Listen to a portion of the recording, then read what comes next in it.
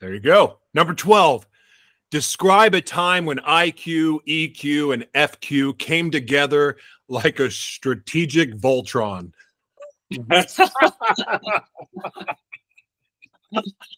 um, these questions.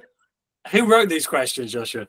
Uh, I I'm gonna have to be- went in La La Land last night and yeah. was Let me just check. A Voltron. Uh, wh- which TV show is that from? Or you don't remember Voltron? Oh, hold on. So, like, think of like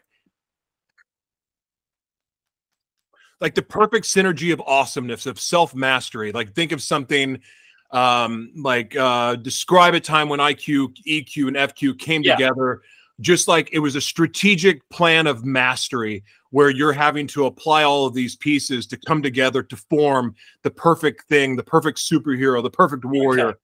Yeah. Yeah, yeah, yeah. Okay, I uh, I've just googled it as we as we've been speaking.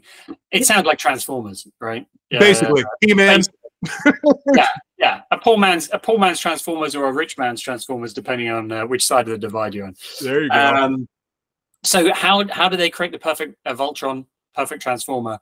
I think it's uh, you know it is that symbiosis uh, um, of bringing those three elements right. None of them take um, uh, none of them take precedent over the others, right? So they're a team. Like let's say one of them is you know offense, one of them is defense, and the other one is uh, you know the um, the sort of uh, the caring system or the repair system. You need all three to have that ultimate Voltron, right?